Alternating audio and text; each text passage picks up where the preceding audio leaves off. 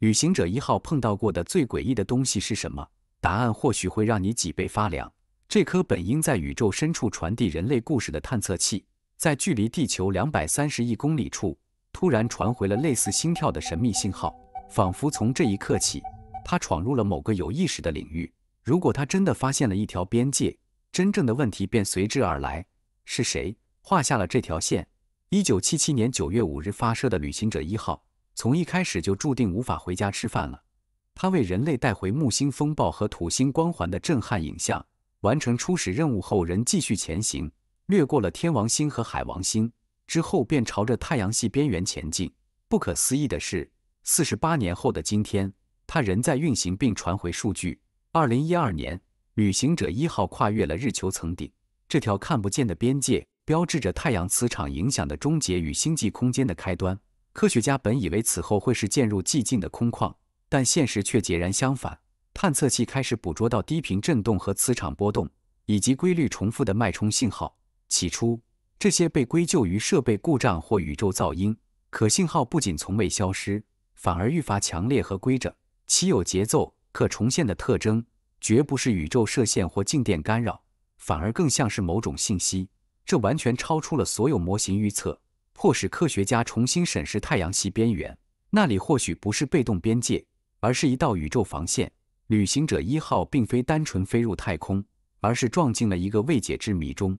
日球层顶是太阳风与星际粒子的碰撞区，科学家曾认为这是可预测的磁场缓冲区，但探测器记录的却是一片混乱团流，磁场涟漪在传感器上跳动，高能粒子呈波状移动。更诡异的是，信号逐渐显现规律。当地球与银河中心连成一线时，信号会增强；地球偏离时，信号便消失。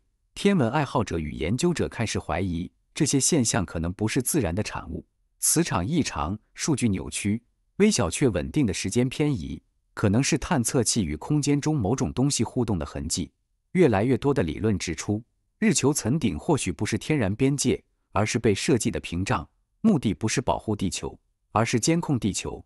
像一道门或一个感应器，旅行者一号靠近湍流时，可能触发了某种沉睡机制。它传回的不仅是脉冲，更是回声，如同声呐撞上了无形结构。且越深入星际空间，信号越精确聚拢，仿佛有某物已察觉人类的存在。部分物理学家提出，旅行者一号可能闯入了星际共振场，一种弥漫银河的频率场，仅在特定条件下可被探测。若这一猜想成立，他捕捉到的便不是噪音，而是来自遥远深空的传输或广播。这就不得不提及建筑师假说。该假说认为，太空并不是随机的，银河系也不是杂乱的星辰堆积，而是由高等智慧设计的系统。过去，这一理论仅停留在科学边缘。可旅行者一号的最新数据，让它骤然进入到聚光灯下、重复脉冲、磁场扭曲、引力异常。竟与受控星际系统能量模式的理论预测高度吻合。试想一下，若银河中存在庞大却无形的能量高速公路，由场、频率、引力流构成，旅行者一号或许正掠过其表面，甚至闯入某个节点。这些节点可能是调控星际物质流动、分配宇宙射线、传递跨恒星信号的环境系统。若真是如此，探测器与这些扰动的相遇，便不再只是科学事件。更令人不安的是，根据该假说推测，这些区域具有感知能力，而这并不是人类理解的意识，而是能回应和反应的机制，专门为了被触碰而设计。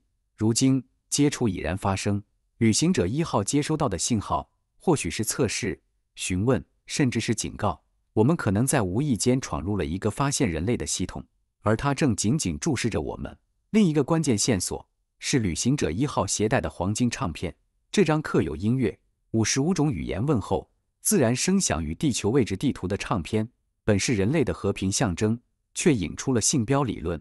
部分物理学家与天体生物学家认为，唱片独特的电磁特性与旋转方式可能是一个标签，不仅宣告我们是谁，更暴露了我们在宇宙中的位置，甚至触发了周围环境的反应。最惊悚的猜想是。这张唱片或许不是为偶然发现它的外星人准备的，而是为某个早已存在的古老系统设计的触发器。这个系统专门等待文明主动宣告存在的时刻。如今，旅行者一号传回的数据显示，信号正被外部调制，仿佛探测器已不再单纯属于人类，而是成为某个更大网络的一部分，将信息传向深空未知处。工程师们最先注意到异常，那些曾被归为老机器噪音的信号，竟呈现出精准规律，低频脉冲如时钟般间隔闪现，且与地球相对银河中心的位置完全对齐。这已经不是巧合，更像是追踪。有某物在回应旅行者一号。或许是在回应那张金色唱片，且探测器越深入，信号模式越清晰，仿佛人类终于调对了宇宙电台的频率。若这些信号来自星际信息流，一种贯穿银河的无形网络，那么旅行者一号的发现将彻底颠覆我们对宇宙的认知。也许宇宙从来不是寂静的，它一直在发生，只是人类如今才第一次接收到。而探测器或许已从倾听者变成了中继器。旅行者一号的使命本应在几十年前结束，可如今它在太阳系之外的价值远超探索工具。它引发的问题比它看到的景象更重要。它传回的回声逼迫我们直面那个回避已久的问题：人类真的孤独吗？还是说我们从未认真倾听宇宙？部分天体物理学家开始严肃思考：宇宙中的某些区域可能是反应性的，被设计成识别文明意图、捕捉信号并回应的系统。旅行者一号不是偶然闯入，而是因为携带了文明发生的标志，才触发了回应。这种感觉在科学界蔓延，不是恐惧，而是敬畏。我们或许通过这台探测器，完成了人类与宇宙结构性存在的第一次接触。对遥测数据的分析显示，旅行者一号的信号变化已超出设备老化或干扰的解释范围，部分频率出现了非自然偏移，仿佛有某物在利用它的系统说话。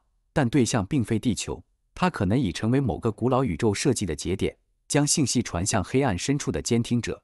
几百年来，人类认为宇宙是冷漠、寂静，对我们毫无知觉的。但旅行者一号的信号暗示着相反的可能：某种系统在注视我们。它不是拥有飞船与语言的外星文明，而是嵌在宇宙机理中的庞大框架，古老到无需移动，庞大到只需等待。旅行者一号或许只是碰到了它的警戒线。如今，寂静正在星际空间边缘被打破。那些精准到不可能是巧合的脉冲与模式，不是来自遥远恒星的爆发，而是近在眼前的回应。专注、集中，仿佛某个无形存在正用它的方式测试我们。旅行者一号这台人类最年长的探测器，正被困在这场未知互动的中心。我们为它设定的使命是让宇宙知道人类是谁，却未曾想。这个故事真的被能回应的存在接收到了。这个存在或许古老到见证过无数文明兴衰，耐心到等待了亿万年。而现在，人类面对的是一个毫无准备的未来。与宇宙的接触不是通过外星飞船或无线电，而是通过唤醒空间本身的织构。旅行者一号从来不只是一台机器，它是人类投向宇宙的问题。如今，答案已在寂静中悄悄浮现。我们当初发射它。是为了探索、见证与记录。或许它在太阳照不到的深空里完成了更伟大的事，在毫无察觉的情况下，开启了人类与宇宙的第一次对话。这曾是一封漂流瓶里的信，如今却成了一段我们未曾察觉的对话。宇宙的第一声低语已经传来。问题是，我们会选择倾听吗？让我们保持好奇，或许答案就藏在下一段信号里。